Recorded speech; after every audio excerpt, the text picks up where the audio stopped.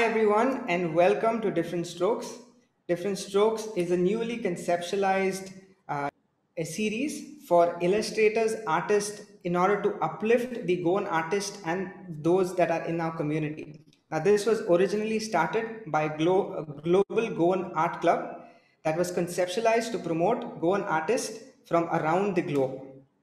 In this episode, we have a very special individual that has connections to Goa but currently does not live in Goa. Miss Akeru. Miss Akeru, what is your origin story and could you tell us a little bit about yourself? Uh, I'm a Japanese. Currently, I live in Japan. I'm married to a Goan, so I visited Goa several times, and uh, I started to draw Goan houses about 15 years ago after I brought up two sons. So still I'm a, a Sunday painter uh, because on weekdays I'm a, I work as a teacher. Awesome. Awesome. So how did you come about to coming to Goa, Akeru, and how did you fall in love with certain elements of Goan culture and how did you start getting to a point where you reflected those elements into your artwork? Mm. Um, my husband is from Kansarim village, and then there are several very nice old houses ne- near my husband's house. So I found them very charming. So I took photographs of those houses. At that time, I had a baby. So I tied my baby on my back and I had a camera in my hand and wander around the neighborhood of my husband's house. And I took photos, click, click, click. And uh, it was just like that. But uh, after I got time, after years, I got, got time to do something for myself. And then my husband encouraged me to do painting. Okay. So I pulled out those old photographs and then uh, I started to draw houses based on those photographs. That's how it started. Okay. And how how did you find what was the medium of uh, uh, creating your posters? How did you how did you create your artwork and uh, how did you find your signature style in the process of creating your artwork? See, I I'm just uh, I didn't uh, receive any formal uh, art education, so what I did was I found uh, uh, some ink and color pencils, which bo- my boys were using at school. Okay, those color pencils from of my boys, I started to draw. So I'm not do, using any very special mm, medium or anything. Very simple.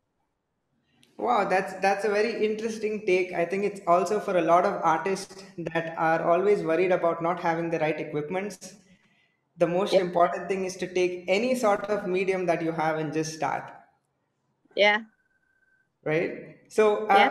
Also you have had a lot of artwork that has been promoted on the Goan, uh, the Global Goans Art Club on Facebook. Uh, I'd also like to know, like, have you ever tried to promote this art at say for example an exhibition or any sort of fair? And did you face any challenges? Did you face any uh, comments from the people of how your art actually was?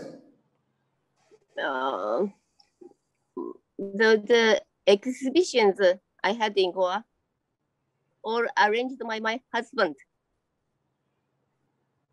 So people who came to my exhibitions basically they looked very happy to see my paintings of Goan houses. So so I okay continued to okay did, did you it. ever face challenges in trying to promote your art as an artist To begin with, am I promoting? what do you mean with promoting?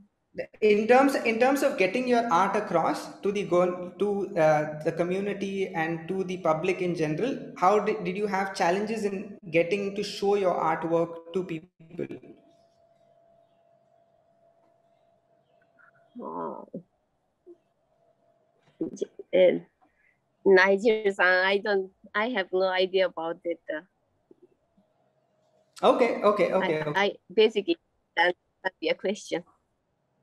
Okay, okay, okay. Uh, could you tell us something, an element of also, uh, you know, the Japanese art and Goan art? Uh, what is the differences and how did you merge, or if you did merge the two culture, uh, the two art works in a specific way in your work, or was it two different distinct styles of artwork? I, I'm not a professional artist who, who received, uh, who went to art college or something like that. Yeah. I'm not very informed about art. Even Okay, okay, I'm not in, very informed about Japanese art scene. okay, So okay. I, I, I know only a little bit about manga. Okay, Uh, do you know manga? yes, Uh, so uh, maybe call it graphic novel or whatever. okay, I- i- It's a very big field in Japan, okay, and uh, I I know a little bit because I myself was a manga writer Okay. when I was young.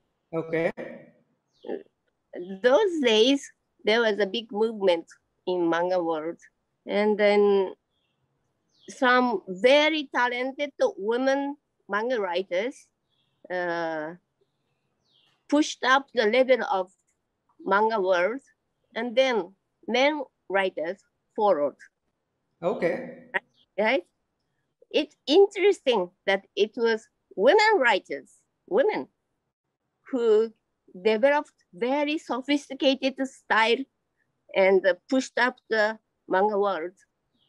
So in that sense, eh, I think Did you feel that women that should not be repressed in art world. Okay. Did you feel that that was an Excuse me? inspiration in a way to your to you taking the uh, you know uh, to getting into art in some form? Sorry, Nigel, I didn't understand your question. Uh, Uh, did you did you did you feel that having grown up on that form of art, having so many uh, women into that artwork, was an inspiration in a way for you to get into art or to pick up a pencil and actually sketch or art? eh, there is no difference between men, uh, women. Uh, if they want to draw, they can draw. But uh, actually, in this world, uh, uh, I don't know, Goa. In Japan, if you go to art college, all professors are men, Okay. very few women. Okay, okay, okay. Okay, so that's a very interesting story on the uh, manga art and that story and how it has been more female, uh, you know, oriented and uh, in comparison to male, how it was promoted and how it was actually, uh, you know, how the entire artwork of manga came about. That is uh, in a very own style, Japanese in nature. Uh, Akeru, thank you for that part. Uh, almost coming close to the end of this session, but Yes. currently, are you working on any sort of new artworks or any uh, interesting things that you can share with us? Naja-san, I'm still drawing one houses. Same thing I'm saying. Um, yeah, I keep doing this because I want people in Goa to uh, re- recognize the value of Goa old houses and preserve them.